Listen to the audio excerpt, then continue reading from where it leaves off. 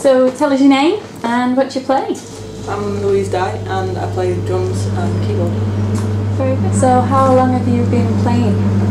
I've been playing keyboard for 12 and a half years and drums for about seven years, I think. Oh, nice, nice.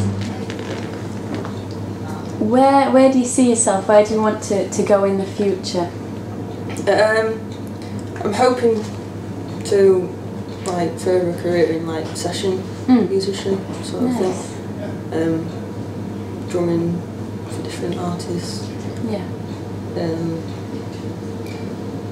I could also do like like the theatre side, like musical side, because I used to do that in sixth form and stuff. like that. Certainly. Yeah. That sounds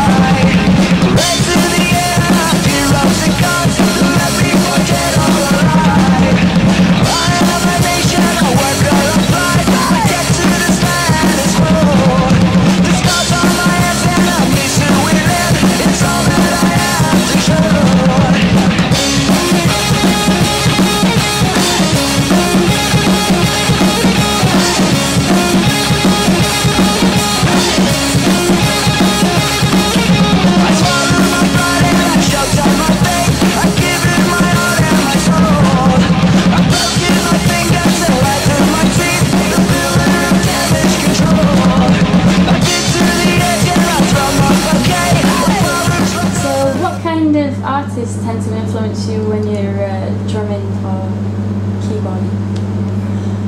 I mainly listen to like Green Day, Hmm. um, but any sort of genre really, Yeah. I'll play too. Yeah. So in that sense, would you say that as an individual, that's where you'd be, you'd fit into kind of any Yeah. genre?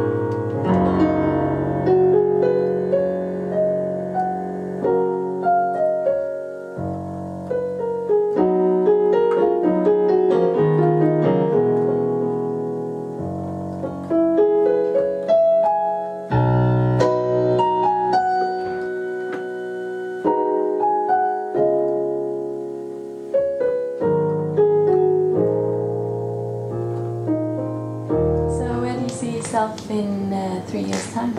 Um, hopefully becoming a session musician, um, playing for different artists.